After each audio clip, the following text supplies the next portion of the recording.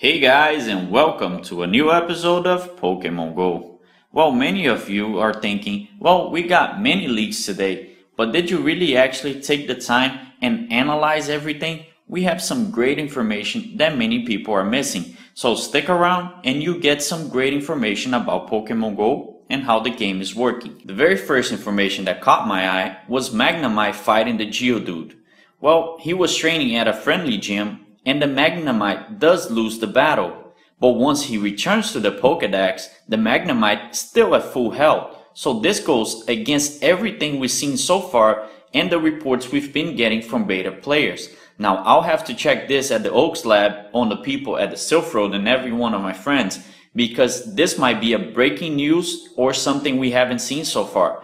So if the Magnemite loses a battle during a training, it might not actually lose its health at all this way, you will need max revive only when attacking enemy gyms and not friendly gyms anymore. Now besides the battling, we also have great information that Pokemon CP actually affects HP, kilograms, and height for Pokemons of the same species. If we compare the two Vulpix right here, the 55 and the 69 CP, we can see that as the CP increases, so does HP, weight, and height of the Pokemons. Now guys, something you might have known for before, it's still the same. As you level up to level 2, you do get 5 extra Great Balls, and when you level up to level 3, you do get 5 extra Ultra Balls. But from what we've seen on the beta players is that as soon as they level up, they start finding Great Balls and Ultra Balls all very often at Pokestops. So I'm hoping that this goes on to the real game. This way we won't have to spend much money on real life Pokeballs. Now we had comments before that you need to reach a certain level in order to choose your team.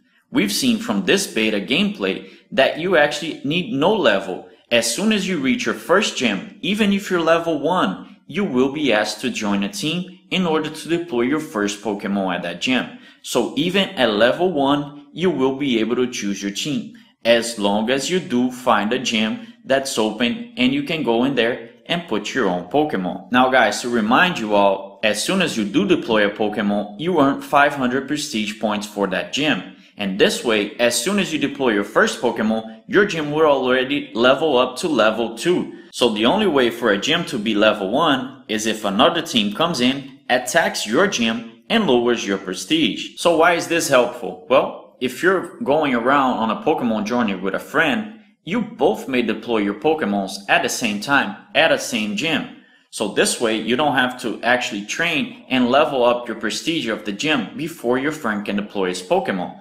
This way, both of you will be able to deploy your Pokemon without any battles at that gym. Now let's take a look at the Rattata we found here and the Rattata from before. Well, we've seen a big change in evolution shards since before it needed 20 evolution shards and now it needs only 18. Also guys, it confirms the information that Pokemons are having different quick attacks and charge attacks. From what we see, one Rattata has a bite and swift, the other one has quick attack and body slam. Another weird thing I found from this gameplay, I don't know if it's a glitch or whatnot, is that once he reached the Pokestops, it never shown more than 3 items. But let's see this example where it shows a Pokeball, a Great Ball, and an Ultra Ball. As soon as he clicks the first Great Ball, a Pokemon egg comes out, and now he has three items again.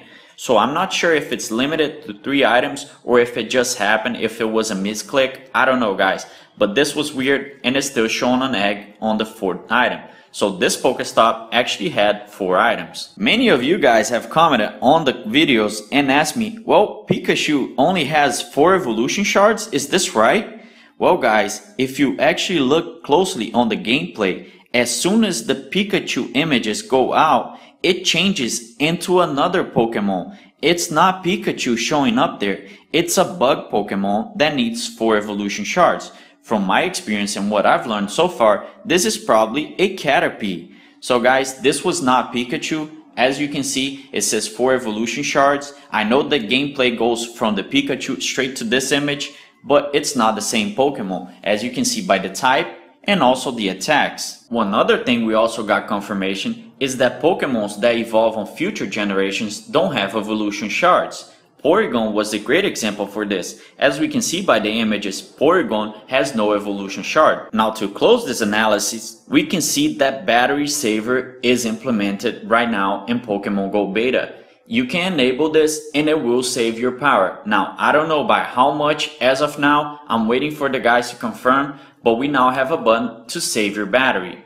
And as you can see on the right hand corner, the beta is on 0.19.2 as of now. So the 0.19.1 has been updated and Australia already got the 0.2 version. So let's stay in touch. Let's keep subscribing. Let's share with your friends and I'll keep analyzing everything that leaks and everything that comes out on Pokemon Go. I thank you all and train on.